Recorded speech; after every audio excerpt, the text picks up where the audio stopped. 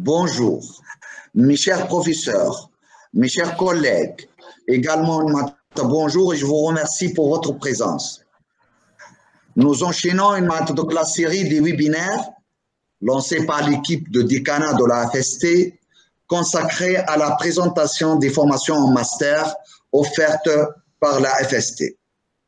L'objectif de ces webinaires donc, consiste à aider les étudiants candidats à ces masters de faire un choix judicieux, d'autant plus que les candidats pour cette année sont appelés à faire un seul, parcours, un seul choix, donc ils choisissent un seul parcours d'un seul master. Par conséquent, ce choix doit être bien réfléchi afin de euh, d'avoir ou bien de garantir le maximum de chances pour être retenu. Aujourd'hui, ce sont les formations donc en master de recherche et en l'occurrence les formations concernant le département de physique dont je vais laisser le soin à monsieur le directeur du département Sitar Benasrallah de rentrer en détail et de les présenter donc pour vous. Donc, euh, je ne vais pas tarder pour longtemps. Je vais céder la parole à Madame la directrice des études, donc, euh, qui je, dont je remercie vivement et qui était à l'origine de cette initiative. C'est une très bonne initiative. Jusqu'ici, elle rencontre un succès donc, extraordinaire. Donc, j'espère que donc, euh, ça va continuer dans les années donc, euh, d'après. Donc voilà, madame, à vous la parole donc, pour continuer à présenter donc, le, donc, à clôturer donc, la session de ce matin. À vous la parole.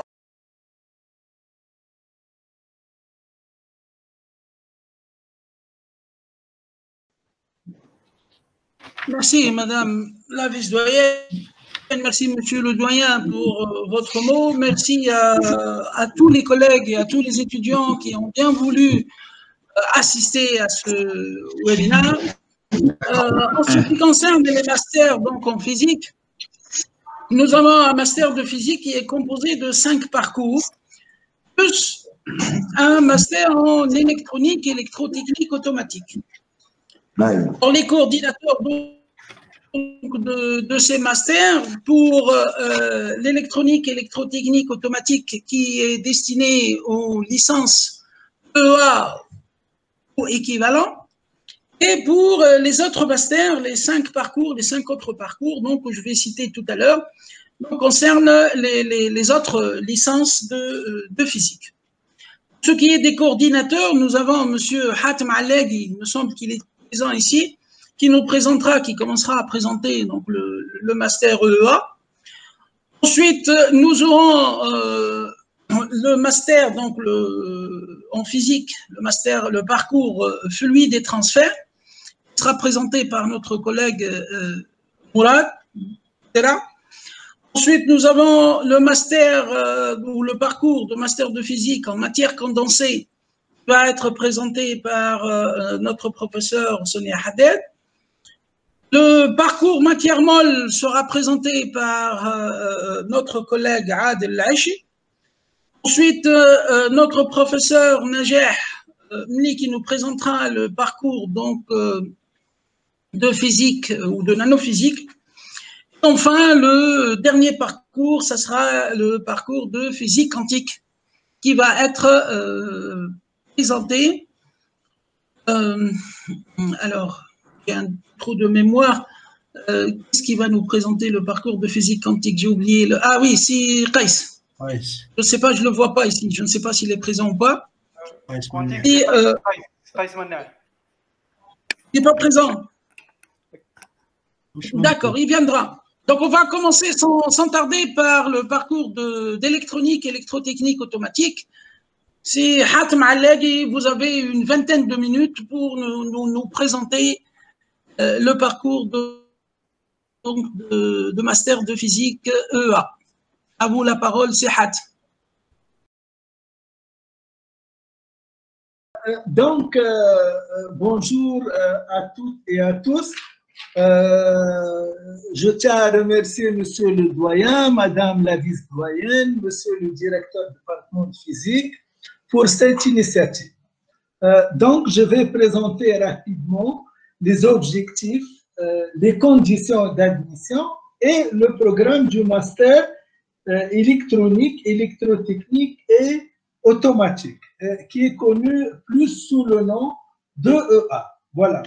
Euh, en fait, euh, voilà, donc euh, pour commencer, les objectifs principaux de ce master sont former des compétences aptes à poursuivre des études doctorales dans les différentes disciplines de l'EA. Par exemple, ils, peuvent faire un doctorat en électronique ou microélectronique, électrotechnique, automatique, système embarqué, génie électrique, informatique industrielle, énergie électrique, traitement du signal et d'image et autres doctorats. À la FST ou bien à l'INIT ou à l'INICAR, par exemple. Euh, euh, donc, euh, un deuxième objectif principal, c'est préparer les étudiants au contexte industriel actuel et leur fournir les moyens pour s'adapter facilement à son évolution future. Euh, euh, donc, euh, il y a d'autres perspectives aussi importantes qui consistent à former des compétences prêtes à intégrer les départements recherche et développement dans des organismes industriels en Tunisie ou à l'étranger, agissant dans les différents, différents domaines d'EA et notamment dans le domaine de l'électronique embarquée, l'électronique haute fréquence, l'énergie électrique, smart grid, commande de système, etc. Euh, euh, aussi, euh, ce master permet de former et préparer du futur enseignants en EA qui peuvent enseigner et exercer en Tunisie ou à l'étranger. Ce master répond aussi aux besoins de l'industrie par la formation de hauts cadres dans le domaine de l'EA. Je rappelle, euh, quand je dis EA, c'est euh, l'électronique, soit l'électrotechnique, l'automatique et euh, d'autres petites filières telles que le traitement de signal, le système embarqué, tout ça. aussi, ce master permet de former des responsables de projets dans les entreprises du domaine ainsi que dans les bureaux d'études spécialisés en EA. On a plusieurs exemples. nos diplômés euh, on peut accéder aux grandes entreprises d'électronique en Tunisie, telles que ST Électronique, Sagem et autres. Euh, euh, donc, pour l'admission, il y a bien sûr des conditions d'admission. il faut avoir une licence en EA, telle que notre licence EA fondamentale ou appliquée, une licence en génie électrique, en électronique ou autre selon, le programme d'études. Je donne par exemple la maintenance industrielle. Voilà, pour la sélection euh, et la présélection, euh, ce master, euh, la présélection se fait sur l'étude des dossiers comme les autres, en ligne bien sûr sur la plateforme de l'Université Tunis et en fonction des scores obtenus par les candidats. Passons au programme d'études. Euh, ce programme euh, euh, s'étale sur quatre semestres. Le premier semestre, c'est presque un peu théorique. Ils font l'analyse numérique, un peu de signaux et systèmes, circuits radio et fréquences, informatique et électronique de puissance. Je peux dire qu'ils sont des cours de base. Puis on passe un peu au semestre 2 ou 3 euh, à la spécialité, on trouve les antennes, la modélisation et, la commande de système, système embarqué, électronique pour l'embarqué. Troisième semestre, euh, on s'intéresse plus à, des matières euh, voilà, diversifiées telles que la commande avancée, système numérique, automatique et traitement d'image, circuit haute fréquence, technique de l'information et de la, communication. Le semestre 4 est bien sûr, comme tous les autres masters, est consacré euh, euh, aux mémoires et un projet qui se tale entre six mois et une année. Voilà. donc, à la faculté des sciences, on a trois labos d'accueil. Le premier laboratoire, c'est le laboratoire d'électronique et micro-ondes qui est dirigé par M. Ali Salah. Le deuxième laboratoire, c'est euh, celui qui est dirigé par le professeur Abdelkader Memi, laboratoire d'application d'efficacité énergétique et des énergies renouvelables. Le troisième laboratoire est euh, le laboratoire d'analyse et traitement des signaux des systèmes électriques et énergétiques qui est dirigé par M. Abdel euh, Pour la coopération internationale, on a euh, beaucoup de conventions. Euh, il y a une coopération très importante avec la France, avec l'Italie, avec des universités canadiennes. à l'Europe, par exemple, je cite l'université de Limoges, l'université de Pavia en Italie, Université of Minho au Portugal. Euh, euh, donc, euh, pour les laboratoires, on a voilà une convention avec l'Institut supérieur de l'automobile. C'est une école d'ingénieurs, voilà, qui est située à Nevers en France. par exemple, aussi le laboratoire IMP de Grenoble.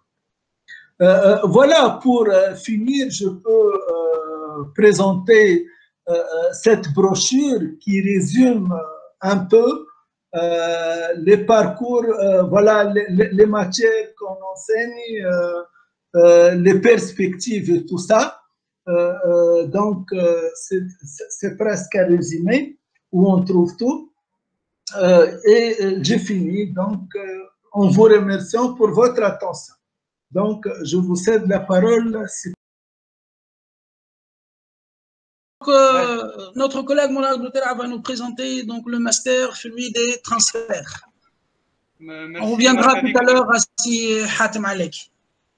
Ben, donc, euh, marhaba comme l'école, je vois qu'il y a beaucoup d'enseignants, choix et les étudiants, J'espère que même à l'enregistrement, avec Madame Fadila, il y aura plus d'étudiants qui vont voir un petit peu les présentations de master de physique. Donc, euh, comme il a précisé notre directeur, il y a cinq parcours en physique. On va essayer de prendre le parcours euh, physique et transfert. Physique et fluide et transfert, pardon. Donc, est-ce que je partage un petit peu l'écran Voilà, je vais essayer de partager. Non, ça passe pas. Partage. Donc, une fenêtre. Et voilà, on va partager. Est-ce que vous, voyez un petit peu le... C'est bon? C'est bon? C'est bon? Je peux commencer? Vous voyez un petit peu l'écran là Tout à fait, tout à fait. D'accord. Donc ici, euh, donc c'est le master de physique de fluide et transfert. Donc, euh, master de physique de transfert a pour objectif de former des, étudiants dans le domaine de tout ce qui est physique de fluide et transfert. Donc, euh, l'admission se fait à travers l'accès, à travers en fait les candidats titulaires de diplôme de des licences en physique, physique chimie, physique énergie, énergétique, mécanique, électromécanique. Donc, euh, les compétences visées, c'est accueillir de base scientifiques et techniques solides de mesures expérimentales. Donc, on va essayer ici de toucher un petit peu l'aspect expérimental de tout ce qui est mesure de fil chaud, tout ce qui est mesure de température, des écoulements. Mettre en place des méthodes analytiques et numériques de modélisation de problèmes physiques et énergétiques en se basant sur des théories théoriques approfondies dans le domaine de la mécanique de fluide et l'énergétique, telles que la thermo, le transfert thermique, mécanique de fluide, qui touchent en fait de, beaucoup de domaines d'application, tels que l'aéronautique, l'espace, les transports, l'environnement et surtout en fait l'énergie. Donc ça tourne autour de l'énergie. Troisième point, c'est de mener l'analyse critique des hypothèses d'un modèle de problèmes physiques et énergétiques en utilisant en fait des modèles ou des logiciels qui existent ou en développant un nouveau euh, modèle ou à nouveau euh, des logiciels spécifiques à la formation. Donc, le euh, quatrième point, c'est de modéliser et de simuler des systèmes fluides et thermiques en utilisant les outils de calcul scientifique et de logiciels spécialisés adaptés euh, à, la formation. Et en fait, produire, produire des, analyses critiques des résultats de simulation. Donc, et après, après le master, en fait, le poursuite des études, il y a le côté fondamental où le titulaire de master peut faire une thèse de doctorat, en particulier dans les labos, labos d'accueil de la, fac de sciences de Tunis, ou euh, notre partenaire euh, tel que le Boursedria, le labo de centre de recherche technique en énergie à Boursedria, ou à l'étranger, on a pas mal de, de coopération à l'étranger. Le deuxième profil, c'est un profil où on aura l'insertion professionnelle. En fait, le master a pour, objet, a pour objet de former des étudiants, des chercheurs capables de travailler en équipe. C'est tout ce qui est calcul et modélisation, des services de conception, la modélisation et la simulation, des centres de recherche, des bureaux d'études en particulier. Je vais revenir à ce point, en fait, euh, dans l'exposé. Donc, je, donne une idée sur les unités d'enseignement obligatoires, telles que le semestre 1, en fait, c'est un tronc commun de, des parcours de physique, où il y a la physique statistique, la simulation numérique, les méthodes mathématiques et la physique expérimentale. Deuxième et troisième, c'est un petit peu spécifique à la formation, tout ce qui est relatif à l'écoulement des transferts, donc euh, la partie euh, transfert thermique et la partie énergétique et météorologie appliquée en fait à tout ce qui est énergétique. Donc euh, quatrième semestre, c'est un semestre qui est en fait c'est un stage de, master qui doit valider pour valider en fait le master inter, il doit faire un stage dans les labos d'accueil. Donc, en plus de la formation dans les quatre semestres, on fait des séminaires et des formations complémentaires, surtout après la convention signée avec un bureau d'études de HK Consulting qui est spécialisé dans la certification Autodesk. Donc, euh, on a fait, euh, avec la fac, euh, on a signé une convention où les étudiants internes ont bénéficié des tarifs avantageux au niveau de la certification. On, on peut aller jusqu'à 50-60% même des tarifs. C'est des certifications de tout ce qui est Autodesk, Revit, Katia, euh, des logiciels spécifiques à la formation. Donc, je vous présente ici une des formations qui est réalisée à la Fac des sciences de Tunis. C'était en date de 20, fin 25 novembre. Vous voyez un petit peu le, les étudiants, ici des photos de la formation euh, qui a été effectuée à la Fac des sciences de Tunis. C'était une formation sur Revit MEP. Revit MEP, c'est-à-dire le Revit spécialisé dans les, tout ce qui est écoulement et, et transfert. Donc, en plus de la formation, il y aura des visites pédagogiques un de nos partenaires, c'est le Centre de recherche technique en énergie eau. Euh, donc, on aura des visites euh, à faire à Borsedreya pour voir un petit peu tout ce qui est installation photovoltaïque, euh, tout ce qui est installation de solaire thermique aussi. Donc, on va voir ici, par exemple, les techniques de, de, inverse au niveau de dessalement de l'eau. un générateur de photovoltaïque de l'ordre de 15 kWh et ici, tout ce qui est contrôle de l'écoulement euh, au niveau de, des matériels existants en fait, à Borsedré. En plus de Borsedré, on aura des visites en fait à notre partenaire de la société Sofrifac, qui est spécialisée euh, en plaques d'isolation thermique et sonore à base de mousse de polyuréthane. Hein. Donc ici, c'est les plaques, en fait, c'est des plaques d'isolation, c'est d'isolation thermique et sonore. Je vous montre ici quelques exemples de l'installation de ces plaques dans les gains d'installation, ici les gains de, de trappe. Euh, et ici, euh, c'est des circuits d'éclairage de faux, plafonds qui sont réalisés avec, à partir de ces plaques. Donc, euh, je passe au labo d'accueil. Les labos d'accueil, il y aura pas mal de labos. Donc, je présente ici le labo, par exemple, d'énergétique et de transfert thermique à la fac de sciences de tennis où le domaine d'activité est spécialisé dans la partie tout ce qui est énergétique et mécanique de fluide. Le thème, c'est l'économie de l'énergie, la maîtrise de l'énergie, en plus de l'impact énergétique sur l'environnement. Donc, euh, dans ce labo dont en fait je suis membre, on a quatre axes de recherche. Un axe qui développe un petit peu tout ce qui est transfert de thermoconvectif. Je présente ici euh, une, simulation sur tout ce qui est écoulement sur l'air. Deuxième axe, c'est tout ce qui est écoulement transfert de masse, surtout en fait le transfert de masse, phénomène de changement de phase liquide-vapeur, où il y a la partie expérimentale ici, de changement de phase liquide-vapeur. Troisième axe aussi, c'est un axe où on a une installation à la fac de sciences de Tunis d'une soufflerie en fait verticale. C'est le boucle de séchage où on travaille avec des produits agroalimentaires et on essaie de caractériser pas mal de matériaux d'une façon cinétique euh, et la partie dynamique et mécanique. Quatrième axe, c'est un axe qui reflète un petit peu de tout ce qui est thermodynamique, énergie et modélisation. Je vous présente ici quelques modélisations. Par exemple, ici, c'est la modélisation de l'hydrogène dans un espace confiné. Ici, c'est la dispersion de fumée d'un incendie euh, dans un tunnel. Donc, le, deuxième labo à la fac de sciences utilise le labo de rayonnement thermique sous la direction de Zine Sediri. Donc, les axes développés dans ce labo, c'est l'analyse des transferts de chaleur par rayonnement à travers des milieux gris et non gris par la méthode de Boltzmann. Euh, l'étude de, l'interaction conduction-convection-rayonnement dans un fluide par l'approche de Boltzmann. La modélisation de transfert de chaleur et de masse.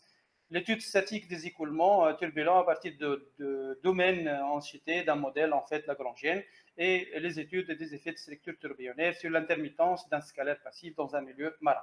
Ici, c'est pas mal de simulations. En fait, vous voyez ici les schémas euh, des simulations réalisées dans ce, ce contexte.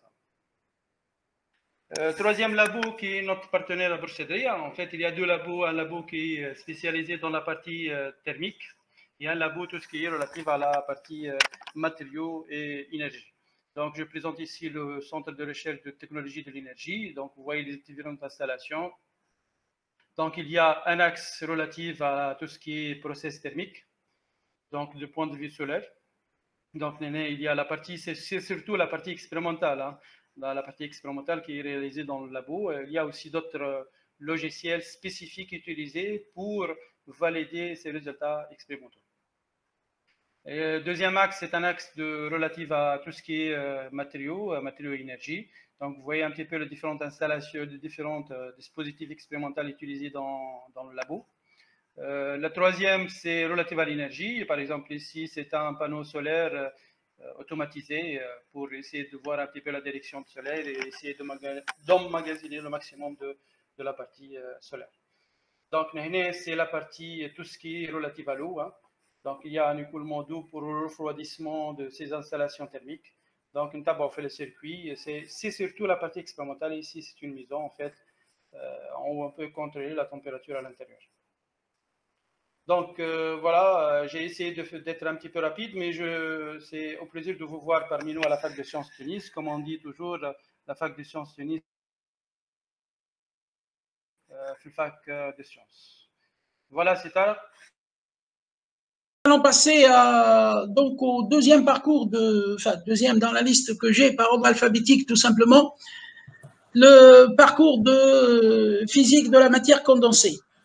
Et donc notre euh, cher collègue, le professeur Sonia Haddad, si elle veut bien nous présenter un petit peu son, euh, parcours de, matière condensée.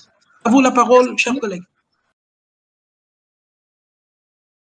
Euh, bonjour, euh, euh, tout d'abord, je tiens à remercier Madame la vice-doyenne, Monsieur le, doyen, pour avoir initié ces présentations de master. C'est vraiment une excellente initiative. Alors, je vais commencer dans une première partie de la présentation à vous parler un petit peu des détails du parcours de physique de la matière condensée. dans une deuxième partie, donc, vous trouverez le lien sur la page Facebook je vais expliquer un petit peu euh, comment choisir un master, quel parcours il, serait intéressant à faire et qu'est-ce qu'on peut faire après un master. Donc, euh, le parcours physique de la matière condensée est le premier master à être euh, fondé au département physique de la faculté des sciences du Tunis. alors, matière condensée, ça veut dire quoi?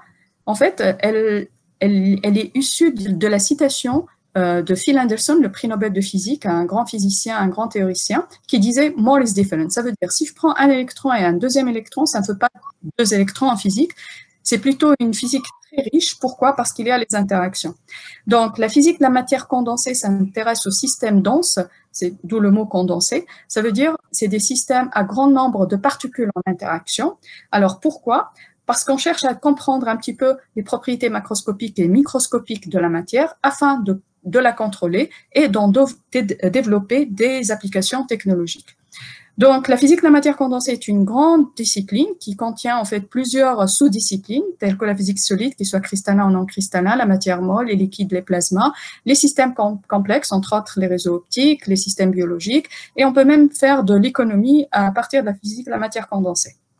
Alors, elle balaye toute l'échelle que, vous connaissez, c'est à partir du macroscopique jusqu'à l'échelle nanométrique et atomique en passant par l'échelle mésoscopique. Donc, pourquoi s'intéresser à la physique de la matière condensée? En fait, je vais poser la question autrement. Comment serait notre vie sans la physique de la matière condensée En fait, on ne serait pas là pour faire cette vidéoconférence. euh, justement parce qu'il n'y aura ni ordinateur, ni téléphone portable, euh, ni composants électroniques, euh, dommage pour nos amis électroniciens, pas de transistors justement, et donc pas de technologie. Ce cartoon résume un petit peu notre vie sans la physique de la matière condensée. Alors, justement, ces motivations technologiques ont fait euh, ont permis en fait de, de, faire de la matière condensée une branche de la physique très très étudiée, très riche, qui a permis de développer toute la technologie qui nous entoure dans notre vie courante, partant par exemple des, des simples téléphones portables jusqu'à euh, les accélérateurs de particules, le transport, les, la médecine, l'IRM et même l'ordinateur quantique. Et ce qui explique en fait pourquoi 40%, plus que 40% des physiciens euh, dans le monde entier travaillent dans la branche physique de la matière condensée. La majorité des prix Nobel ont été décernés à des physiciens de la physique de la matière condensée, qui en fait est une discipline qui affecte tous les domaines de la physique et même la biologie, euh, partons même de la physique des particules jusqu'à euh, la biologie. Et donc, c'est pour ça qu'on a plus de nombre de docteurs ou de doctorants en physique de la matière condensée, comme l'explique euh, ce diagramme qui montre les statistiques des docteurs en physique euh, aux États-Unis. Alors, en Tunisie, c'est exactement la même chose. La majorité des étudiants sont en physique euh, de la matière condensée ou bien en sciences des matériaux. Alors, c'est pour cette raison qu'on a un master de physique de la matière condensée à la faculté des sciences de Tunis. Le programme comporte un premier semestre qui sera réalisé cette année exceptionnellement euh, sous forme de tronc commun, en commun avec les, en fait, les cinq parcours. Alors, l'option de parcours est la physique des solides. Euh, c'est un module qui est enseigné dans tous les, euh, en fait, dans tous les masters euh, de matière condensée de physique solide à l'échelle internationale. Et on va essayer d'avoir le même programme avec les standards internationaux. Donc, cette année, il y aura un changement dans le staff enseignant en matière condensée en S1 et même en S2 et S3. Et on va essayer de mettre, en fait, le point sur la physique appliquée. Alors, dans le programme du S2, on aura toujours de la physique des solides, surtout des simulations numériques qui vont se faire en synergie avec le programme de physique des solides et euh, la mécanique statistique. Et on aura aussi une option de chimie. Alors, vous allez me dire qu'un physicien n'a pas besoin de chimie. En fait, oui, euh, justement, c'est pour euh, ce genre de problème qui risque d'avoir lieu si vous connaissez la chimie. Donc, et imaginez qui, entre dans un physicien qui va faire par exemple de la synthèse, euh, la synthèse de matériaux dans un laboratoire, vous avez absolument besoin de connaissances en chimie, ce qui vous évitera ce genre de problème euh, catastrophique. Donc, euh, le programme de S3, euh, il y aura toujours de la simulation numérique, des options, en particulier la, la supraconductivité, un projet pédagogique pour appuyer réellement les compétences en, en, en rédaction euh, des étudiants et un module qui est assez flexible qu'on appelle problème actuel de la physique euh, que nous avons choisi de faire depuis l'année dernière sous forme de travaux pratiques. Attention, c'est pas des travaux pratiques dans, dans les laboratoires d'enseignement, mais c'est directement dans les centres de recherche euh, sur l'énergie, les technologies de l'énergie à Cédria. Et là, je tiens à remercier mes collègues qui ont accepté d'assurer euh, ce, euh, ce module-là, où les étudiants vont vivre réellement euh, la vie quotidienne d'un chercheur. Et en particulier, nos étudiants l'année dernière ont participé à la réalisation, à la synthèse du, euh, du graphène, qui est une couche de, de graphite, donc c'est en fait euh, le, le, composant essentiel de votre mine de crayon, et c'est un cristal purement bidimensionnel qui, a pu et, euh, être synthétisé euh, par nos étudiants euh, par ces techniques de chemical vapor deposition. C'est un équipement lourd euh, qui est le premier en Tunisie en fait, le, euh, qui se trouve à, à et après la synthèse, les étudiants ont pu utiliser plusieurs techniques de caractérisation, par exemple exemple la rayon X, la spectroscopie Raman, infrarouge. Et ça, ça a permis aux étudiants d'acquérir une grande expérience euh, de manipulation d'équipements lourds euh, et de synthèse de matériaux, de caractérisation. Et ce TP, ce genre de TP a eu réellement un grand poids euh, durant l'entretien euh, qu'a passé le major de promotion pour décrocher un, un, un, un stage en fait euh, à l'université de Grenoble, à l'Institut Néel en particulier, euh, parce qu'il avait justement cette compétence d'utiliser entre autres la spectroscopie Raman et de synthétiser le graphène. Alors, vous allez me dire, OK, on peut faire ce genre euh, de TP, mais à quoi ça peut servir encore? Alors, je vous dis, si vous avez, par exemple, vous vous présentez pour un stage ou un, un emploi et vous dites que vous avez un, euh, un master en technologie nucléaire. Alors, technologie nucléaire, ça veut dire que vous, avez la compétence de manipuler un équipement lourd. Alors, si vous présentez pour le stage et votre employeur vous dit, OK, alors je vous mets directement, par exemple, sur une partie d'un réacteur nucléaire, ou bien vous allez mettre de faire de la dosimétrie, et vous dites, je ne suis pas capable de le faire parce que j'ai uniquement eu une formation théorique.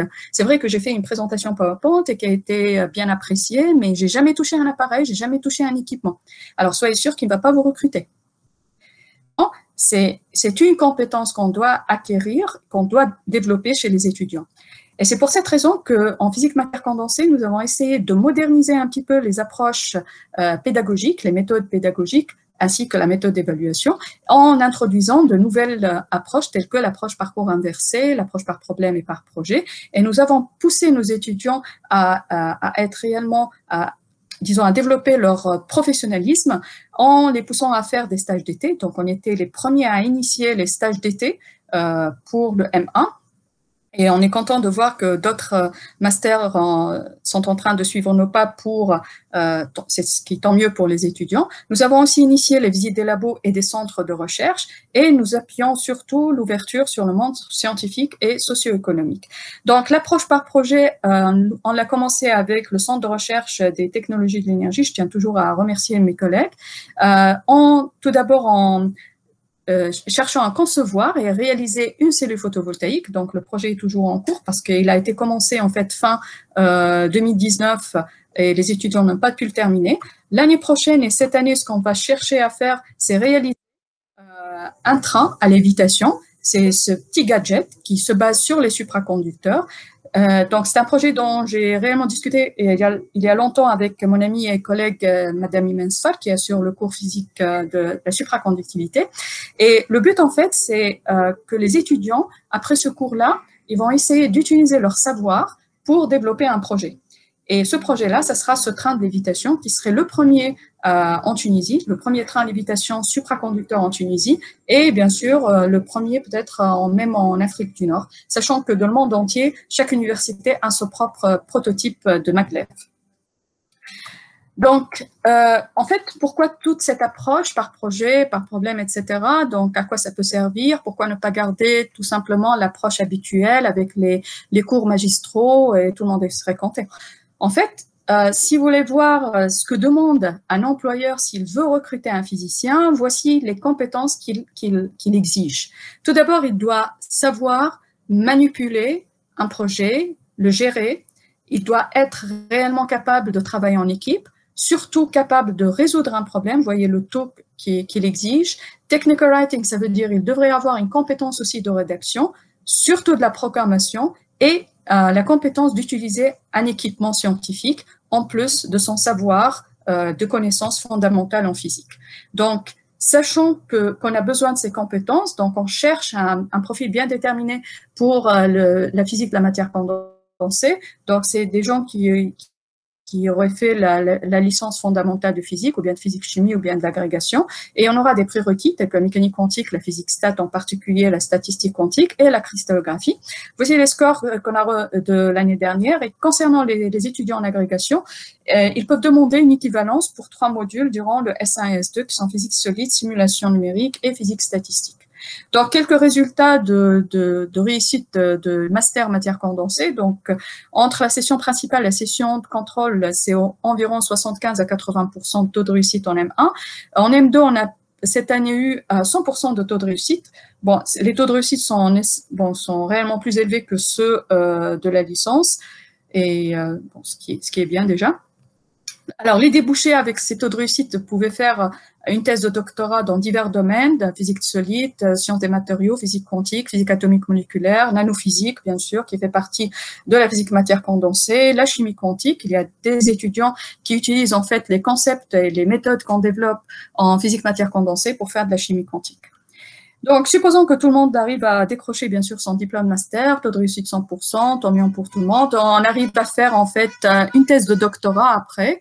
Et euh, ce qu'il faut se demander, qu'est-ce que je peux faire avec euh, une thèse de doctorat en physique? Alors malheureusement, euh, beaucoup sont au chômage. Si on regarde un petit peu les statistiques, euh, c'est vraiment triste. En 2020, on a environ 5000 docteurs au chômage, soit 70% des titulaires de doctorat sont au chômage. et aucun recrutement depuis 2016 en tant qu'enseignant-chercheur. Donc, en fait, la question qu'on se pose, est-ce qu'un diplôme de master en physique ou un doctorat en physique mènerait nécessairement au chômage? Alors, si on voir un petit peu les statistiques de, de, plus près, ce qui se passe à la FST, donc on a à peu près 190 étudiants inscrits en thèse. En plus, chaque année, on a 75 étudiants inscrits en M1 qui s'ajouteraient donc, sans compter ceux qui sont inscrits en M2, qui s'ajouteraient à ces 190. La question, on va se trouver avec des centaines de porteurs de, de, diplômés en, de doctorat en thèse, sans compter bien sûr toutes les autres facultés à l'échelle nationale. La question, comment se distinguer parmi toute cette foule et surtout, comment décrocher un emploi? Alors, c'est pour cette raison qu'on s'est posé la question en physique de la matière condensée, quel débouché on peut avoir pour nos étudiants? À part l'enseignement à la recherche, il ne faut pas attendre l'État pour, euh, pour l'ouverture des postes. Donc, on s'est dit, si on compare ce qui se passe à l'échelle mondiale, on peut réellement euh, encourager les étudiants à aller vers des domaines tels que l'ingénierie, le data science, ou bien l'expertise dans recherche et développement, et peut-être aussi même l'entrepreneuriat, pourquoi pas, comme on va voir euh, tout à l'heure. Pourquoi euh, le data science? Parce que dans le monde entier, maintenant, on remarque que les banques sont en train de recruter les physiciens et les matheux, donc des docteurs en maths et en physique. Alors, pourquoi? Parce que c'est des gens qui sont capables de modéliser, d'analyser un problème et de faire aussi de la programmation. C'est ce qu'a besoin les banques, par exemple, une banque ou bien une euh, compagnie d'assurance. Alors, ce qui est important aussi, si vous regardez ce qui se passe dans le monde entier, les porteurs de diplômes de thèse de doctorat ne sont pas restés euh, à travailler en physique ou bien en éducation, c'est-à-dire en enseignement. C'est uniquement 17 ou bien 9%. Ils sont plutôt, la majorité sont en computer science ou bien dans l'ingénierie. Donc, si vous dites que je vais faire un master ou un doctorat de physique pour avoir un poste enseignant-chercheur, ce type de réflexion est complètement dépassé euh, dans le monde entier et euh, il faudrait absolument euh, adopter cette manière, cette nouvelle manière de voir et dire qu'avec un, un, un, master ou bien une thèse de doctorat, on peut aller plus loin, on peut aller dans le business, on peut aller dans l'ingénierie. Alors, comment faire? C'est justement, il faut avoir des compétences qui le permettent. Alors, des exemples du physique de matière condensée, justement, on a Riyad Asman qui a été recruté en tant que postdoc ingénieur dans une start-up qui est appelée Graphil. Euh, qui a été fondé par un physicien, euh, qui est là le Vincent Bouchia. Alors Vincent est un physicien de l'Institut Néel. Il a pu euh, tout simplement valoriser les résultats qu'il a obtenus en recherche fondamentale académique dans ce laboratoire sur le graphène pour concevoir une application médicale qui est un smart patch, c'est-à-dire un pansement intelligent pour aider la cicatrisation des plaies chez les diabétiques qui souffrent réellement, qui, une plaie pour un diabétique peut être réellement fatale. Donc, il a monté cette start-up pour faire de l'appliquer à partir des résultats de sa recherche fondamentale. Et on est content d'avoir euh, Riyad euh, être recruté en tant qu'ingénieur dans cette start-up.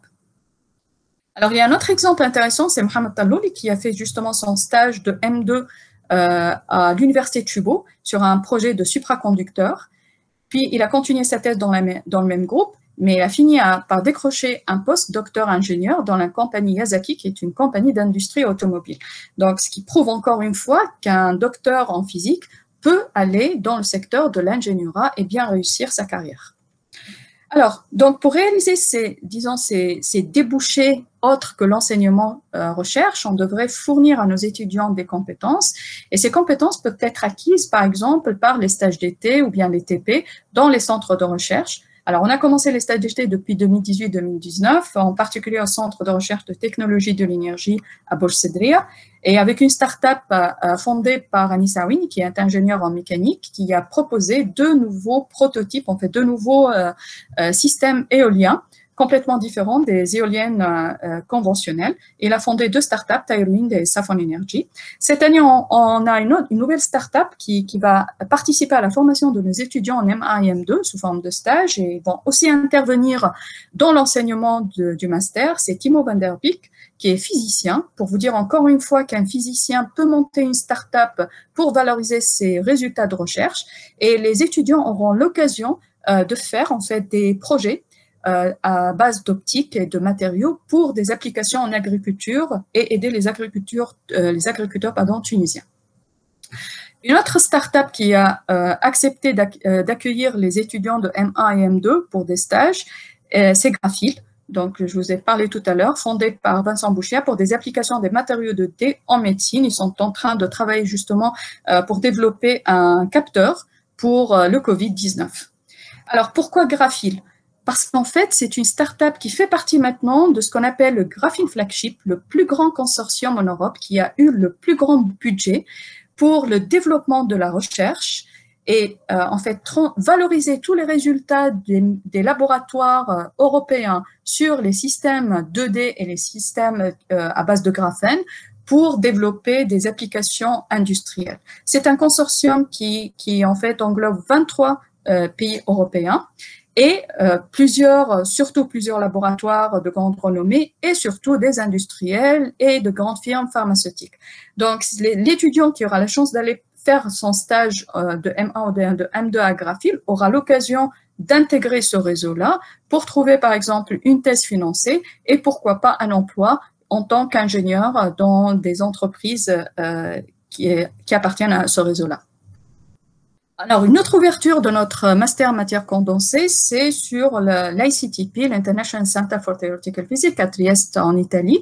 Alors, c'est réellement euh, un, lieu très, très intéressant pour la science parce que c'est un lieu de rencontre de plusieurs euh, physiciens de grande renommée. Vous allez trouver euh, de long de toute l'année plein d'activités, de conférences internationales, des workshops, des schools, etc où les prix Nobel sont invités, les prix, euh, par exemple, les, les Nobelisables, les, les, personnes réellement des physiciens de très grande renommée sont invités. Donc, l'étudiant qui va être admis à, à Postgraduate Diploma, qui est un master avancé qui prépare les étudiants euh, à, à, la, à la, au PhD, c'est-à-dire à la thèse de doctorat.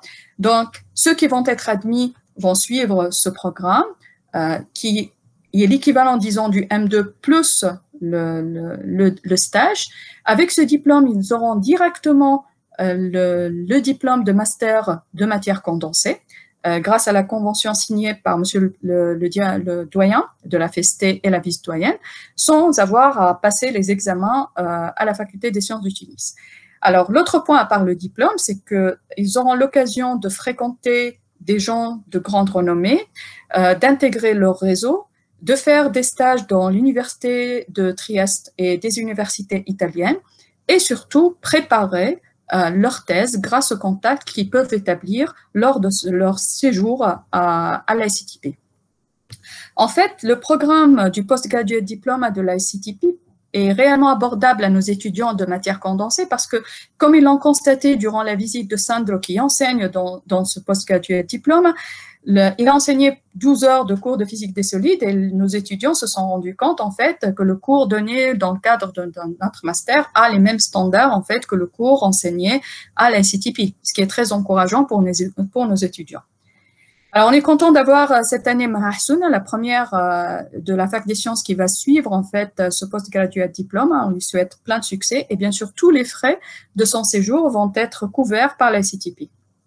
Alors, une autre convention que nous avons établie euh, euh, pour préparer les étudiants à faire des stages, euh, que ce soit pour les M2, c'est avec le parcours nanophysique de l'Université de Grenoble-Alpes. Alors, pourquoi nanophysique? Alors, c'est un parcours du master nano qui comporte trois parcours, nanophysique, nanochimie et nanobiologie. C'est un parcours, en fait, dans la partie théorique se recouvre avec le programme de master matière condensée, mais la grande différence avec les autres euh, masters qu'on connaît, c'est que 80% de l'enseignement de ce, de ce parcours se fait par TP. Et c'était pas des TP d'enseignement, c'est des TP directement qui se font dans le pôle technologique de Grenoble. Alors, pour vous donner une idée un petit peu de la dimension de ce pôle, c'est l'équivalent de la Silicon Valley aux USA. Donc, c'est un petit peu la Silicon Valley française.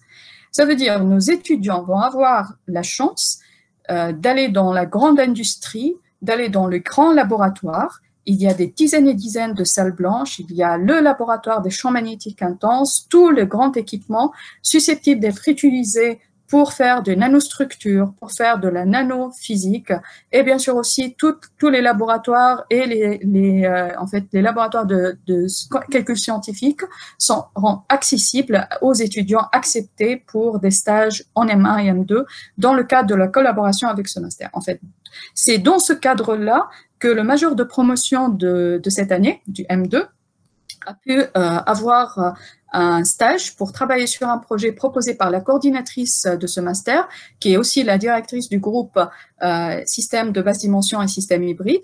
Et il a pu en fait obtenir une bourse tunisienne et une bourse euh, française pour couvrir le son séjour de cinq mois. Alors, ce qui est important, vous allez me dire, OK, plusieurs étudiants arrivent à trouver des, des stages de M2 en France euh, c'est vrai, mais en fait, ils n'auront que au maximum 400 euros durant trois mois. Alors 400 euros en France, pouvez même pas vivre euh, en SDF malheureusement. Donc c'est pour ça qu'on a tout fait pour que euh, Nizar puisse avoir une bourse correcte qui lui permet de se concentrer uniquement sur ses travaux de recherche. Alors, une autre convention dont on est réellement fier, c'est euh, la convention signée avec le Gallaudet School of Engineering de l'Université Osaka.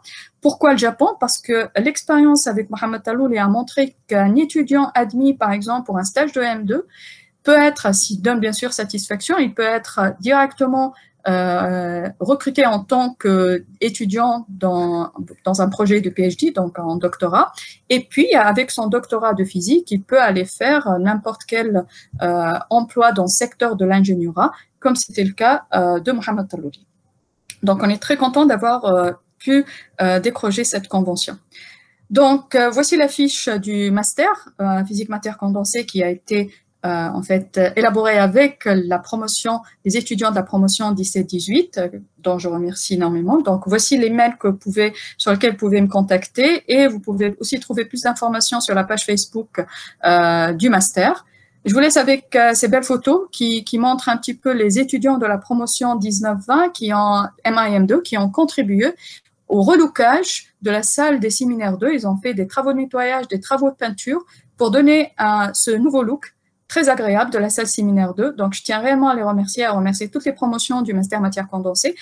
Et voici donc encore une fois l'email sur lequel vous pouvez me contacter euh, pour euh, discuter euh, des détails du Master Parcours Matière Condensée. Et à la fin, je vous souhaite plein de succès et choisissez le Master tout en évitant la politique du troupeau. Et je vous souhaite réellement plein de réussite. Merci pour votre attention. سي بون هكا. تفضل سعاد راني نسمع فيك اهو ثاني دقيقة. سي بون سي بون سي بون سي بيان الي سافا مستير هكاكا سافا Ça va, bien, sûr. Merci, monsieur Sitark. Donc, euh, je suis le Adelachi, coordinateur de physique de, de, master, de physique de la matière molle. Donc, avant de commencer, euh, je remercie le doyen, la vice-doyenne, monsieur le directeur de notre département et le staff technique de notre cher honorable établissement, la faculté des sciences de Tunis, pour les efforts qu'ils ont déployés pour réussir cet événement. Donc, euh, dans ce webinaire, je vais vous présenter l'essentiel de ce que nous enseignons dans ce master. Donc, c'est quoi la matière molle? Donc, euh, la matière molle allie des propriétés solides et liquides et englobe une vaste catégorie de matériaux, par exemple les cristaux liquides, les polymères, les colloïdes, les mousses, les gels et les tissus biologiques. En principe, ce master est très répandu dans la vie, euh, ces matériaux sont très répandus dans la vie courante. Ces matériaux jouent en général un, rôle très important dans de nombreuses industries. Donc, profite du programme d'études. Donc, euh, le master de physique de la matière molle s'adresse en principe aux étudiants qui souhaitent faire carrière dans le domaine de matière molle. Donc, normalement, ils doivent être titulaires de licence fondamentale de physique ou bien licence fondamentale de chimie et en plus toute autre discipline associée. Je rappelle que la matière molle allie les propriétés solides et les liquides. Elle englobe une vaste catégorie de matériaux cités en résumé. Ces matériaux sont très répandus dans la vie courante. Donc, elle, est, elle, joue un rôle très important dans les, de nombreuses industries, outre le secteur dédié à la médecine, par exemple, la pharmacie, l'agroalimentaire. Et cette matière molle aussi de la, dépend donc des besoins il faut avoir des besoins de professionnels spécialement formés à ce domaine, comme euh, les étudiants de master de physique de matière qui, seront admis. Donc, les unités d'enseignement dans le programme, donc le programme de master comprend trois semestres euh, de cours magistraux, d'exercices, de projets, de séminaires, ainsi qu'un projet qui s'étend sur, euh, sur, environ six mois pour obtenir le diplôme de physique de diplôme de master de physique de la matière. Donc, euh, euh, nous savons que nous avons trois semestres à enseigner. Donc, premier semestre concerne un tronc commun avec tous les masters de physique. On enseigne presque les mêmes cours. Par exemple, ici, la physique statique avancée application, l'expérimentation physique, les méthodes mathématiques pour la physique, les simulations numériques en physique, par exemple Python, l'anglais scientifique obligatoire. il y a d'autres options de parcours euh, au choix. Si l'étudiant peut les étudiants peuvent choisir un cours qui, lui plaît. Deuxième semestre dédié, euh, qui se rapproche bien sûr de notre spécialité, c'est-à-dire euh, spécialité de physique de la matière morte. Donc, les unités d'enseignement dans ce cas-là, dans, ce semestre, dans cette semestre, physique statistique de la matière morte, bien sûr, on étudie la physique statistique des polymères, des cristaux liquides et des colloïdes. Physique de la matière molle, c'est un cours qui est dédié pour étudier ou renseigner les polymères en solution. Propriétés physiques des fluides, Propriétés élastiques optiques de la matière molle, c'est-à-dire on, enseigne les propriétés élastiques optiques de, des polymères, des cristaux liquides, des colloïdes, des protéines, par exemple. Méthode numérique et programmation, simulation numérique en physique, c'est-à-dire deuxième partie du cours euh, euh, de Python, et option toujours au choix.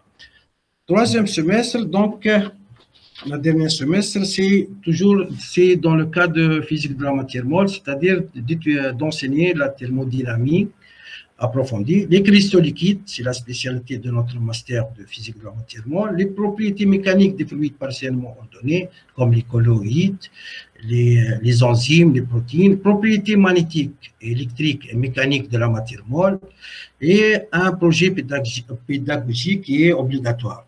Euh, nous enseignons en, parallèle les simulations numériques en physique, c'est-à-dire la troisième partie de, du cours de Python. Donc, euh, nous rappelons quelques définitions concernant les matériaux enseignants, à enseigner, les cristaux liquides. Les cristaux liquides, nous savons, donc, ça se trouve dans tous les afficheurs électroniques. Donc, euh, on enseigne les défauts, les structures et les propriétés de ces cristaux liquides. On enseigne comment fonctionne un écran LCD. En parallèle, on enseigne les films des cristaux liquides, les déformations et défauts topologiques qui existent dans, les, dans ces films. Donc, en deuxième volet, on enseigne les structures propriétés, c'est-à-dire les structures propriétés magnétiques, propriétés électriques et mécaniques des polymères, des protéines et des biopolymères. Par exemple, dans cette photo, je présente l'ADN, les complexations entre polymères et protéines, des interactions euh, se, basent, se basent entre des interactions électrostatiques. On enseigne, on enseigne les copolymères, en plus les les E. par exemple, les, les enzymes, les bactéries, les virus, en général, ce sont, on appelle des polymères. Donc, en parallèle, nous enseignons des cours sur les instrumentations, c'est-à-dire cours sur les montages utilisés pour analyser les structures et propriétés de ces matériaux. Par exemple, ici, on, euh, utilise des microscopes euh, euh, confocal pour étudier les effets de la température, de la température sur les, un cristal liquide. En parallèle, par exemple, ici, c'est une méthode de micrologie, donc on peut étudier les modules, déterminer ou enseigner le module viscoélastique par un modèle qu'on appelle modèle de Masson et se base à l'étude d'un traceur, le déplacement d'un traceur dans un cristal liquide. Le traceur peut nous donner la MSD, c'est-à-dire le déplacement moyen au carré. Donc, en deuxième lieu, donc, euh, on, enseigne comment faire l'encapsulation des virus, et comme les, le Sharia les enzymes. C'est une méthode qui euh, sera enseignée euh, c'est-à-dire enseignement de la technique utilisée, c'est-à-dire la diffusion statique et dynamique de la lumière. C'est une technique ce montage est, monté dans notre laboratoire et nous pouvons en plus étudier les méthodes de tracking, c'est-à-dire méthodes de suivi des billes ou des traceurs où on peut déterminer euh, les déplacements moyens au carré. Ensuite, on peut déterminer la micrologie de ces colloïdes par cette technique. Donc, euh, donc euh, par exemple ici, donc, un exemple de pince optique réalisé par les, ex-étudiants de master en collaboration avec l'Université de Glasgow.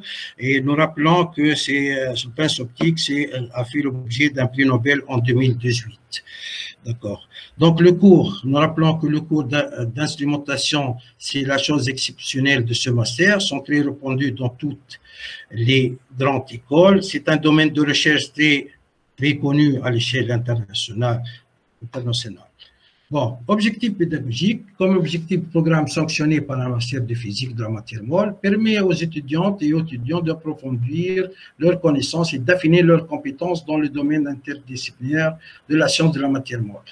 Bien sûr, ce programme interdisciplinaire fait appel aux compétences clés de la faculté des sciences. Les cours sont dispensés par des éminents professeurs de la FST et d'autres facultés. Les étudiants et étudiantes pourront acquérir une compréhension générale de la synthèse de la transformation de la transformation et des caractéristiques des nanomatériaux, mais ici mou, des liens entre leur structure, leurs propriétés et d'autres aspects intéressants en vue d'applications technologiques dans différents secteurs. Dans l'industrie des matériaux, des biens de consommation, industrie alimentaire, cosmétique et pharmaceutique et la médecine. Structure et organisme, organisme d'appui de master. Donc, les, les étudiants réussis, 85% des étudiants Russie font leur stage de master au sein du laboratoire euh, de physique de la matière molle. Euh, les 15%, c'est-à-dire trois étudiants parmi les, euh, étudiants russes, seront accueillis au sein de cette labo présenté ainsi de suite, comme par exemple le Centre Paul Pascal pour étudier les cristaux liquides, laboratoire des colloïdes de verre, c'est pour étudier les complexes, c'est par par rayon X et par microscopie confocale. Il y a pas mal de labos qui euh, accueillant nos, étudiants. Et par exemple, le dernier, c'est James Watt School of Engineering à Glasgow University, où les étudiants font leur stage pour faire le montage de, de la pince optique. Les deux projets respectifs, donc, euh, le master de physique de la matière molle offre non seulement une expérience stimulante sur le plan intellectuel, mais aussi d'excellentes perspectives professionnelles dans des secteurs industriels variés. Il permet également à poursuivre sa carrière universitaire jusqu'à l'obtention du doctorat. Il y a pas mal de diplômés, de diplômés sont intégrés dans les, les industries, par exemple, citons par exemple les industries chimiques, pharmaceutiques et alimentaires ainsi leurs prestataires de services dans le domaine des équipements. Donc, merci pour votre attention et n'hésitez pas à vous m'écrire à, m'écrire à, ce, à ce mail et si vous avez des questions, je suis disponible. Alors, bonjour à toutes et à tous. Est-ce que vous voyez mon écran déjà?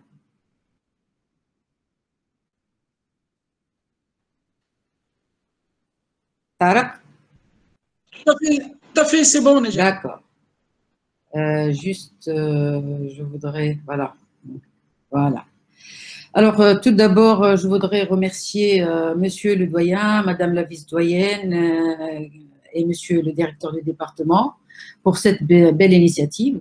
Ben, je suis très contente que notre faculté, notre chère faculté, puisse avoir la possibilité d'exposer ce qu'elle fait au quotidien donc pour une meilleure visibilité pour nos jeunes étudiants et pour leur donner plus d'informations, bien sûr, sur notre formation, nos formations. Alors, euh, comme je le disais, monsieur le directeur du département, ce master, c'est un nouveau-né, hein, il a un an maintenant. L'idée était de fournir aux étudiants euh, d'autres possibilités euh, de formation donc, euh, qui tiennent compte d'un certain nombre de paramètres euh, que je citerai euh, par la suite, au fur et à mesure au cours de, cette présentation. Mais quand je commence par le nom déjà, un parcours nanophysique et nanotechnologie. Donc il y a les deux nanos. Alors nanophysique, c'est la physique de tout ce, qui, est nanométrique et tout ce qui concerne les effets quantiques. Donc il y a le, mot nano, il y a les effets quantiques qui apparaissent à l'échelle nano et il y a les matériaux à l'échelle nano où je peux avoir euh, ces effets quantiques et d'autres types d'effets comme les effets de surface, etc. et autres effets.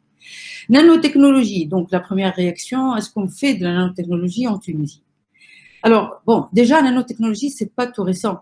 La nanotechnologie a été déjà lancée, l'idée déjà en 1959 par Richard Feynman qui est un physicien américain, lors d'une conférence de l'American Physical Society, il avait dit There is plenty of room at the bottom. Donc c'était en décembre 59.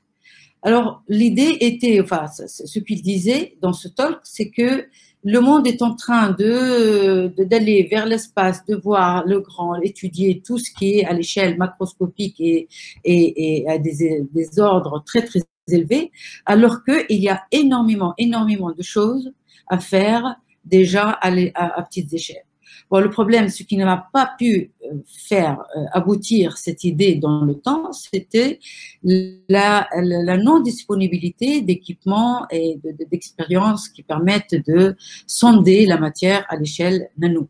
Donc voilà, euh, ça a commencé à décoller depuis la découverte du microscope à effet tunnel le Scanning Tunnel Microscope, découvert en 1981, qui a valu donc, le prix Nobel à, son inventeur.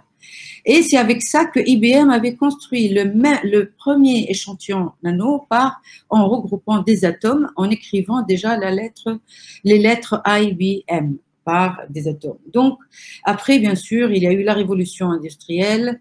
De plus en plus, on a de matériaux, du matériel pardon, plus performant, plus précis. On atteint la haute résolution. On arrive à voir la matière à échelle de plus en plus grande et de plus en plus grande, jusqu'à visualiser même des atomes, des colonnes atomiques ou autres. Donc, et ce qui a développé. Donc, ces techniques-là ont remis la nanotechnologie euh, à la page et bien sûr, et c'est un domaine très, très vaste. Et la nanotechnologie, c'est pas que du lourd. La nanotechnologie, euh, je peux citer des exemples, même utiliser des nanoparticules pour dépolluer des eaux usées, c'est une technologie. Donc même en Tunisie, il y a des axes de recherche stratégiques qui vont vers ça. Et par conséquent et obligatoirement, évidemment, ça doit faire intervenir et associer euh, des partenaires du monde socio-économique. Bon, bien sûr, il y a les nanotechnologies lourdes qui sortent de, ça, mais ces nanotechnologies sont en train d'être développées partout dans le monde. Et donc, euh, donc euh, quand je dis donc l'Asie, l'Europe, les États-Unis d'Amérique, bientôt, bien sûr, partout, partout. Et à chacun, chacun peut trouver ce qu'il peut faire dans ce domaine-là. Donc, c'est ça, en fait, l'idée qui a été lancée par, par notre groupe d'enseignants, en fait, alors, pour ce master, je suis la coordonnatrice, mais il y a pas mal d'intervenants, pas mal de, de, de personnes, de, de, collègues de la faculté des sciences de Tunis et ailleurs, qui ont participé à l'élaboration d'un plan d'études. Vous allez le voir, et il est alléchant, je ne dis pas ça comme ça, c'est une réalité. Alors, pour comment accéder à, à ce parcours-là? Euh, donc, c'est une formation pluridisciplinaire. Pourquoi? Parce qu'en fait, quand je parle de l'échelle nano, quand je parle de nanoparticules, quand je parle de, bits, nanobits, qubits, cette notion de, nano, euh, parce qu'à l'origine, le mot nano vient du nanomètre. Donc, c'est une échelle infiniment petite. C'est un milliardième du mètre, quelque chose comme ça. Donc, c'est 10 puissance moins 9 euh, mètres. C'est l'infiniment petit et donc, à cette échelle-là, il n'y a plus de, de, de, de, cloison entre physique, chimie, etc. Et même, je, dirais, même pour les... les c'est des ordres de grandeur de l'ADN, de molécules biologiques, etc. Donc, ce qui fait, euh, on a... Euh, alors, le, le, le, comment dire, le domaine le plus large, c'est nanosciences qui trouvent des applications nanotechnologie. Nous, au département physique, on s'est concentré sur l'aspect nanophysique. Alors, où il y a plus de physique, mais bien sûr, que pas, pas que la physique, parce qu'on a besoin d'autres notions. Donc, la chimie, c'est très important à ce niveau-là. Donc, du coup, c'est pour ça que ce qui explique que les principales, euh, donc ceux, qui peuvent accéder à ce parcours-là, ce sont les, ceux qui ont réussi euh, dans une licence fondamentale de physique, dans une licence physique chimie, ou physique des matériaux, ou une licence équivalente, et même certains ingénieurs qui ont fait une formation de base en physique. Alors ça, c'est la fiche qui se trouve euh, sur notre page Facebook et, sur la page officielle du site de la FST. Donc là, euh, vous pouvez avoir un résumé, un récapitulatif sur l'ensemble euh, de, cette formation-là. Alors, ce que je peux dire là, est-ce que vous voyez correctement mon écran Ou non? Je suis en plein écran, non? Euh, Mets-toi mets en plein écran. Bah, je sais. Là, sous forme de présentation. Présent. Présentation. Le, le, PowerPoint a une présentation, l'autre. Euh, bah oui, je suis. Euh... Sinon, femme l'affichage avec un fort, en plein écran, d'accord euh, bah, j'ai cru le faire, afficher le plan. Euh, parce que, bon, je ne sais pas. على clavier F5 F5 sur Mac. Alors F5, je ne sais pas. Euh, je sais pas. Bon. C'est bon L'autre. Ouais. C'est bon, oui. Pardon, merci. Bon, donc je disais, tous ceux qui ont une licence euh, fondamentale de physique, de physique-chimie ou physique des matériaux, ou une licence équivalente.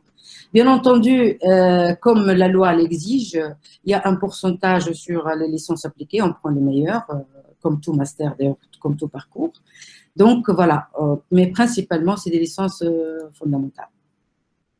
Alors, les prérequis, euh, d'une façon générale, euh, il est vraiment très fortement recommandé d'avoir étudié, bien sûr, si ce n'est pas indispensable, la mécanique quantique, la physique statistique, la cristallographie, la physique atomique et bien sûr avoir des notions de base, au moins de chimie. Alors, ceci permettrait d'aller de l'avant et offrir aux étudiants une formation sur les aspects fondamentaux, mais pas que, donc physique les aspects fondamentaux de la physique moderne à l'échelle nanométrique, et donner des concepts et outils pour parvenir à mener les études expérimentales ou théoriques des systèmes physiques nanostructurés. Parce que, en fait, nanostructurés et nanoparticules, par exemple, nanostructure et nanoparticules, il y a quand même euh, des petites différences.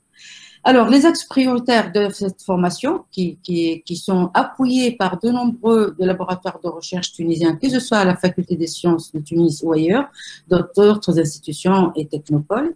Euh, donc, euh, ces axes prioritaires se basent sur plusieurs Donc, on essaye de fournir des enseignements dans le domaine des matériaux fonctionnels, euh, cibler des applications dans le secteur très porteur de l'industrie et de la recherche, dans une démarche de recherche et développement, acquérir une triple compétence euh, donc, il y a euh, les synthèses et la mise en œuvre de matériaux de technologie, la caractérisation des nanomatériaux avec différentes méthodes adéquates, adaptées, qui vont être vues suivant les différents semestres, et l'information quantique qui révolutionne le monde en ce moment.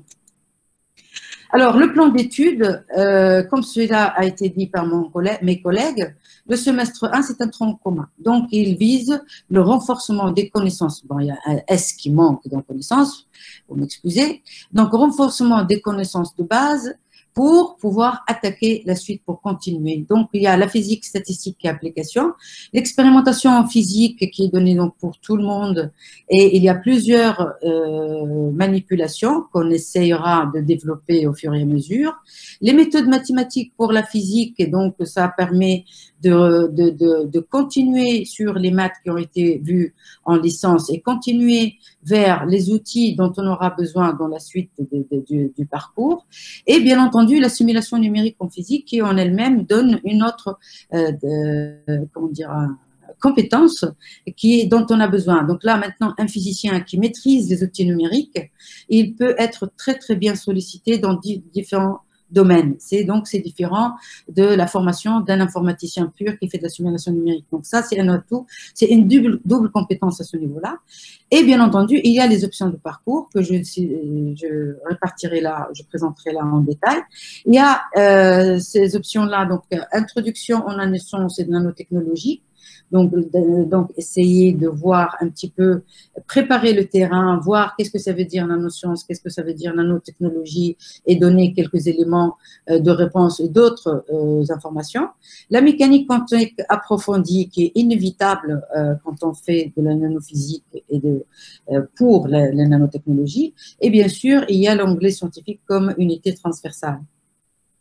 Alors, en semestre S2, on commence à euh, s'orienter vers, donc on voit de quoi on a besoin pour aller vers le nano.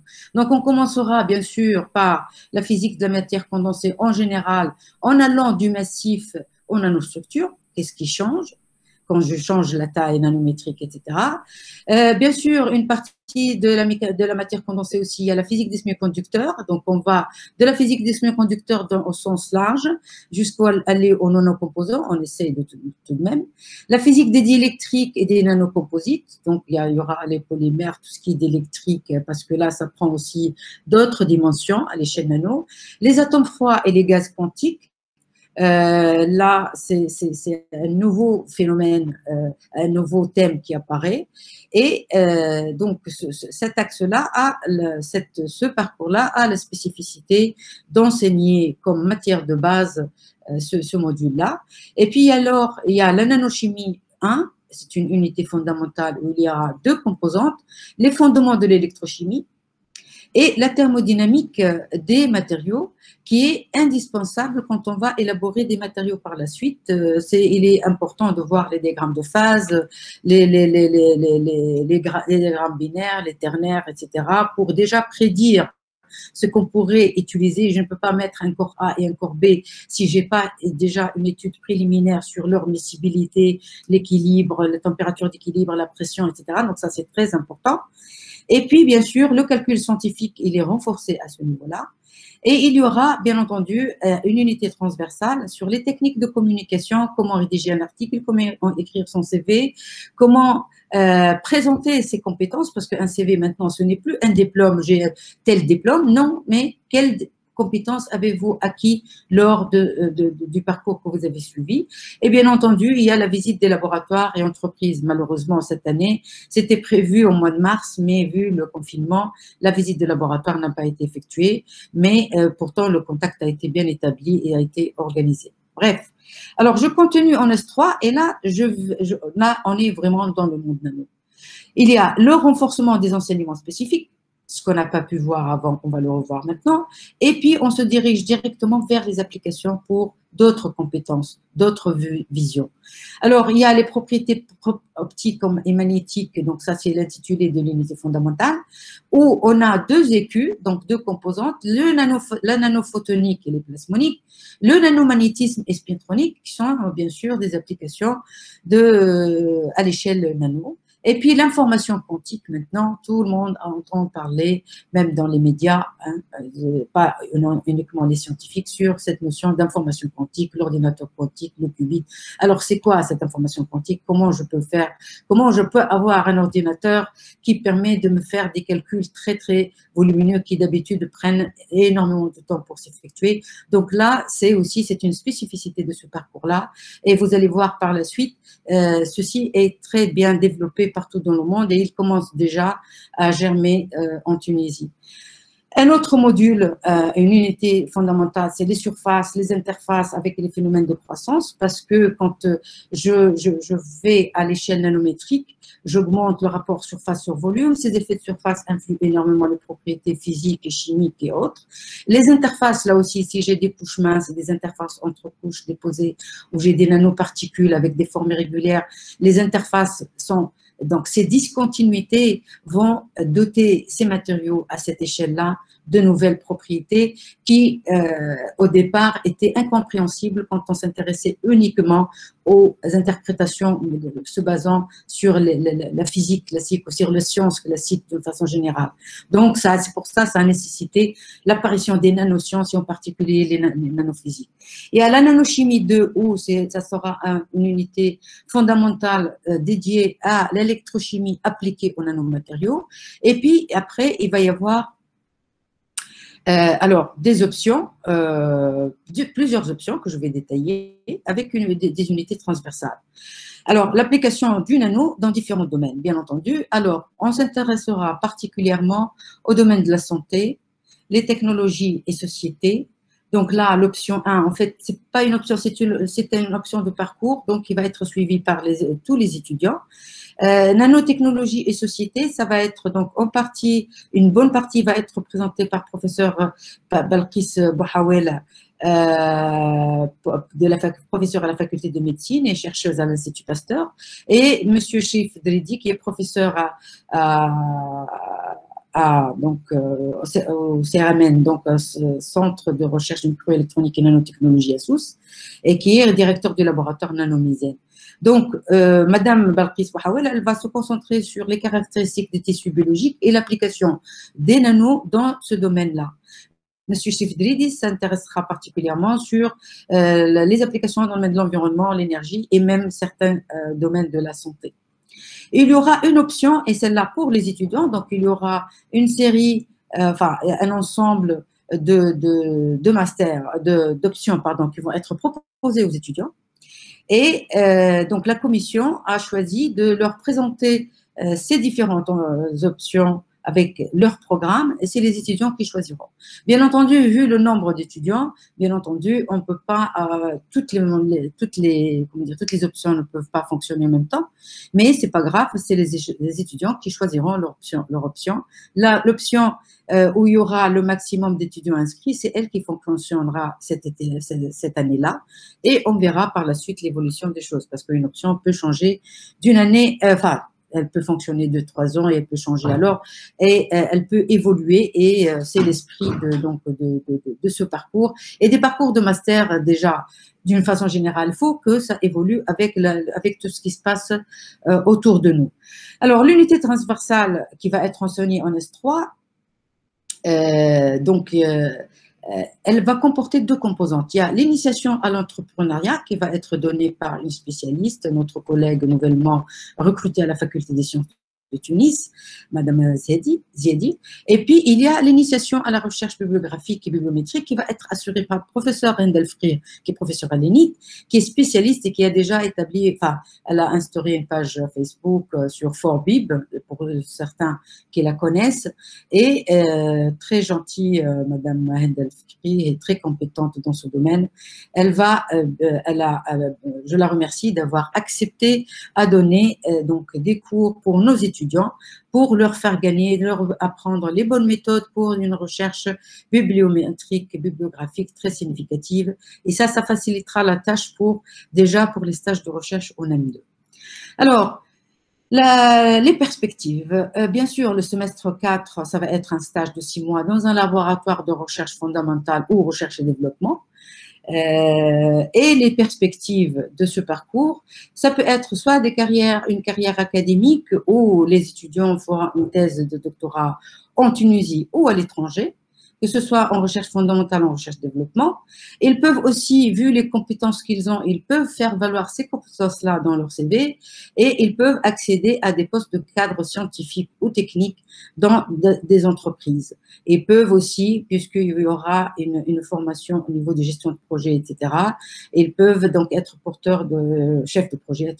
Et puis, il y a une possibilité de, de, de lancer des startups. Je vais en donner un exemple tout à l'heure, euh, d'être des cadres techniques dans, pour, euh, qui vont euh, bien sûr superviser tout ce qui est analyse physico-chimique. Et il y en a maintenant, il y a pas mal d'institutions, que ce soit à l'université ou ailleurs, dans les mondes socio-économiques. Et bien sûr, les technologies de l'information, bien entendu, et contrôle qualité, etc. Donc là, c'est très important. Donc ça fait une ouverture euh, qui n'est pas toujours possible. Alors, Euh, juste euh, là, euh, je présente la première promotion. Nous, à l'unanimité, les enseignants, la commission a, exprimé son, satisfaction par rapport, sa satisfaction pardon, par rapport à cette promotion qui était très motivée, très très motivée. Je les félicite tous. Et ça, c'est la réunion donc juste après comment dire, après le dernier examen, on a voulu les remercier, les féliciter pour les efforts déployés, surtout dans cette année euh, qui est difficile hein, avec le Covid, etc., qui ont travaillé énormément, qui ont fait de l'enseignement à distance. Euh, L'interaction était très, très agréable. Un groupe très uni, hein, que ce soit au niveau des enseignants ou au niveau des étudiants. Et euh, voilà, ça, donc là, c'était juste avant de partir, de commencer à corriger les copies et, et voilà. Bien sûr, là, c'est la réunion de la commission. euh, on a pour délibérer, euh, qui s'est réunie le 4 juillet. Alors, en fait, pour cette pre- première promotion, il y a eu 13 étudiants inscrits. 12 étudiants uniquement euh, ont suivi les cours au cours de l'année et bien sûr ont passé des examens.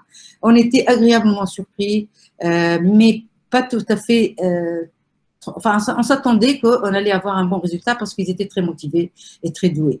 Mais euh, donc avoir euh, un pourcentage de, réussite à 100%, euh, ça a vraiment nous a fait un énorme plaisir. Donc il y a une mention bien et deux mentions assez bien. Et je pense que dans cette année particulière, c'est quand même un effort à saluer. Alors, donc là, cette équipe-là, qu'est-ce qu'ils sont en train de faire maintenant? Donc là, ils étaient tellement très motivés qu'ils ont Dès, dès, la fin des examens, ils ont commencé à faire leurs contacts, bien sûr. Nous avons des contacts avec euh, pas mal d'autres institutions. Euh, ce stage M1 qu'on a, donc mis dans le, le plan d'études déjà depuis le mois d'avril 2020, 2019, pardon, et on a, on a signalé qu'il y a un stage de M1 euh, fortement recommandé. Bien sûr, c'est pas obligatoire en cas de problème, mais heureusement, tout le monde a trouvé et on a même ceux qui feront deux stages puisque cette année c'est particulier.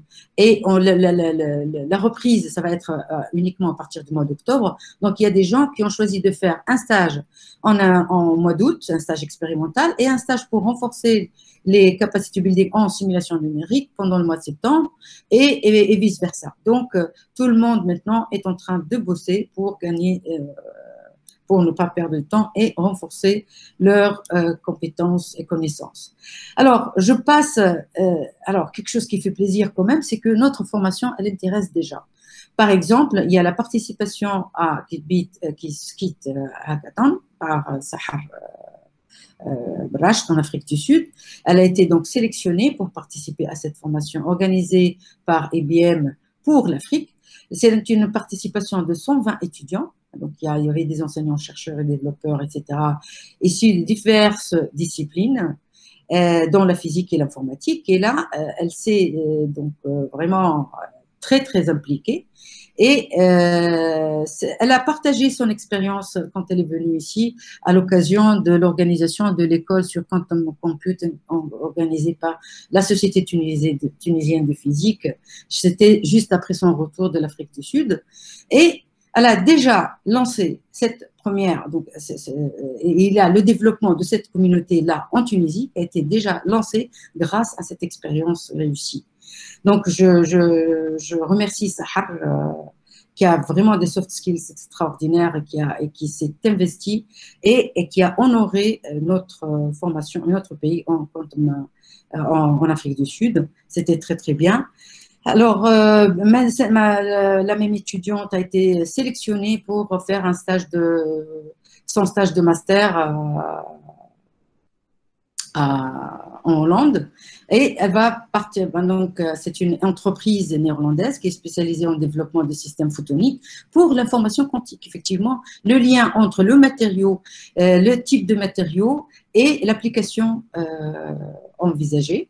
Et aussi, et donc, euh, il y a une autre étudiante qui a été sélectionnée, a été prise en charge par ICTP pour euh, participer à cette African School of Fundamental Physics and Applications.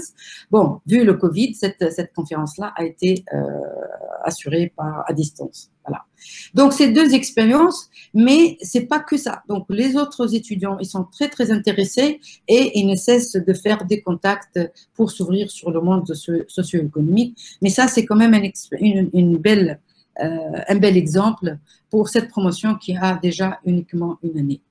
Alors, pour préparer la, rentrée prochaine, euh, nous sommes, la commission s'est réunie le 17 juillet euh, pour cette euh, préparer-là.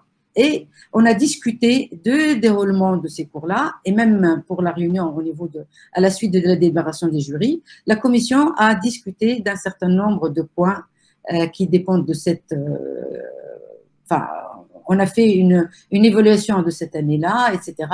Et on a jugé euh, intéressant de, euh, de prendre d'autres résolutions et faire, par exemple, une, une semaine ou deux, selon le, le timing, de pré-rentrée pour faire des mises à niveau. Par exemple, les étudiants qui viennent de physique-chimie, euh, certains d'entre eux ont, par exemple, un, un- un manque dans certains côtés de la, de, la physique et vice-versa. Les collègues, les, les étudiants qui viennent de physique, euh, les licences fondamentales de physique, il y a un petit manque au niveau de la chimie. Donc, on va essayer, avant de démarrer les 14 semaines, entre guillemets, enfin, le, le- le déroulement standard, il y aura une ou deux semaines, selon la possibilité, d'organiser des cours de, de, de mise à niveau. Comme ça, on avance mieux et on va au bout de ce que nous avons euh, fait.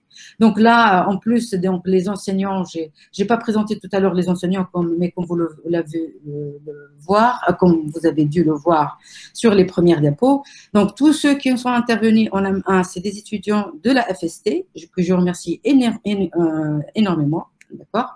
Donc si je reviens, donc il y a سي سعيد ريدان سي علي بن علي مدام هجة مغراوي سي فتحي الجمني سي مراد تلميني سي إسماعيل خطاش سي فاسل كوكي مدام سمية الزاوية moi-même سي نجم الدين جعيدان مدام إيمان صفر مدام ريم بوشنديرة et سي أحمد الودرني. Pour le il y a de nouveaux spécialistes qui interviendront en, en, en S3 parce qu'on a besoin de spécialistes. Donc il y a de nouveaux collègues de la FST comme Madame Zaha Gamra et il y avait en M1 aussi Monsieur euh, Tarek Nasrallah pour l'électronique et, voilà qui qui était pas qui avait un empêchement lors de la première réunion qui est parti plus tôt. Et puis il y a Archid Balhi qui donnera le cours sur le donnerait le cours sur le nanomagnétisme électronique, Madame Zaha Gamra sur le nanophotonique et puis il y a Madame Balkis Bouhawela dont j'ai parlé tout à l'heure et Madame Hinda Fri. Et bien sûr ici donc Madame Yusuf qui a assuré aussi ces travaux d'arrivée cette année-là. Alors, juste pour finir, que, euh, je finirai par dire que ce master-là, il est, s'appuie aussi, en plus des laboratoires locaux en Tunisie, il y a plusieurs laboratoires, euh, que ce soit euh, en Tunisie ou ailleurs, en France particulièrement. Et euh, donc, il y a plusieurs laboratoires donc, dans le domaine donc, de cette spécialité-là qui vont bien sûr euh, euh, soutenir cette formation-là.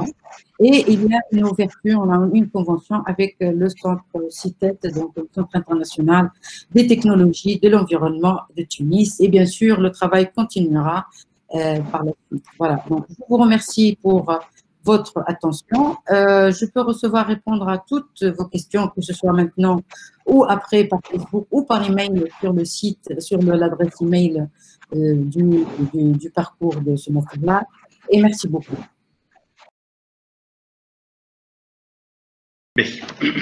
Bonjour à tous et à toutes. Euh, durant cet exposé, je vais vous présenter le master de recherche en physique, parcours de physique quantique. Je souhaite qu'à la fin de cet exposé, vous pourriez faire votre choix et j'espère qu'il soit favorable pour ce euh, parcours. La formation a été lancée en 1994. Cette date ne résulte pas d'un hasard, mais euh, pour répondre à l'exigence de la disparition du doctorat d'État et le lancement de l'habilitation universitaire selon la loi de 1993. Le master fondamental en physique, euh, parcours physique quantique, est un master à finalité de recherche. Il a pour objectif de couvrir aussi largement que possible les concepts fondamentaux de la physique et leurs app- applications. Il propose aux étudiants une formation consistante et diversifiée dans les divers domaines de la physique moderne et fondamentale, qu'elle soit théorique ou expérimentale. Pour accéder à la formation du master de physique, parcours de physique quantique, il faut d'abord avoir une licence en physique ou, ou une licence en physique-chimie ou bien une licence en agrégation. Les prérequis demandés sont une base euh, sur les propriétés et la structure de la matière, les fondements de la physique quantique, les mathématiques de base, une introduction aux statistiques et l'expérimentation en physique. Le nombre d'étudiants prévus pour cette année est d'environ une vingtaine. Il existe actuellement cinq parcours de physique à la faculté de sciences Tunis. Un tronc commun pour ces cinq parcours sera organisé au premier semestre de l'année universitaire 2020-2021. Ce tronc commun vise euh, l'approfondissement des bases acquises dans le cursus de la licence et la découverte de quelques développements récents. Durant ce premier semestre, les modules enseignés sont la physique statistique et ses applications, méthode mathématique pour la physique, simulation numérique en physique, expérimentation en physique et l'anglais. Durant le second semestre, les modules enseignés sont la mécanique quantique approfondie, atomes et photons, structure et propriétés physiques de l'état solide, symétrie et théorie quantique des champs, calcul, euh, calcul scientifique éthique. Et les modules enseignés durant le troisième semestre sont la physique de collision, euh, interaction rayonnement-matière, physique du noyau et des particules, physique moléculaire et spectroscopie, et en parallèle, il y aura un projet pédagogique. À chaque niveau, le parcours propose des lots de cours à option dans des champs variés tels que la physique des nanostructures, la mécanique quantique, euh, photonique et optique non linéaire, structure et propriétés physiques de l'état solide et les semi-conducteurs. Le choix de ces modules a été réalisé pour donner aux étudiants une formation pluridisciplinaire et d'ailleurs c'est l'avantage de ce master par rapport au reste des parcours, ce qui permet aux étudiants d'intégrer les meilleurs laboratoires en Tunisie ou à l'étranger. Euh, pour un parcours trop spécialisé, l'étudiant ne peut pas continuer avec une thèse dans d'autres euh, disciplines. Euh, la, la pluridisciplinarité de notre parcours permet donc à nos étudiants d'intégrer différents laboratoires, que ce soit en Tunisie ou à l'étranger, je citerai par exemple les laboratoires de la faculté de sciences Tunis, euh, de euh, Bizerte, Monastir, Sfax, la faculté de sciences de Gabès ou Garça, mais également les laboratoires de l'ANCIT, de l'IPEST et de l'INSAT.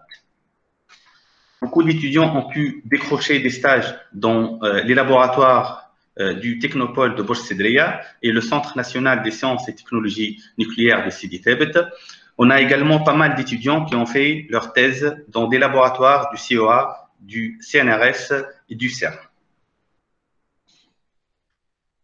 Depuis sa création, la formation a eu 24 promotions et de l'ordre de 300 diplômés euh, pour un taux de réussite la plupart du temps supérieur à 80%. Pour l'année 2019-2020, on a eu un taux de réussite euh, de 100% pour le M2 L'année dernière, les meilleurs étudiants se sont inscrits en M1 et du coup, on a eu un bon résultat avec une mention bien et quatre mentions assez bien. Euh, on a essayé cette année avec nos étudiants de faire des stages d'été pour s'initier à la recherche. Deux étudiants sont actuellement au Centre national des sciences et technologies nucléaires et une à l'hôpital militaire. En janvier, l'un des étudiants du M1 actuellement euh, aura la possibilité de faire un stage de master du M2 en France. Ce stage sera financé par l'Institut de physique nucléaire de Lyon. Donc, je vous présente ici la première promotion de physique quantique. Parmi cette promotion, cinq enseignants sont actuellement à la faculté des sciences de Tunis. Monsieur Ali Ben Ali, Madame Leila Khira, Monsieur Saïd Riden, Monsieur Mohamed Gendouz et Madame Sonia Hadet. Plusieurs enseignants de la FST euh, ont fait le parcours de physique quantique.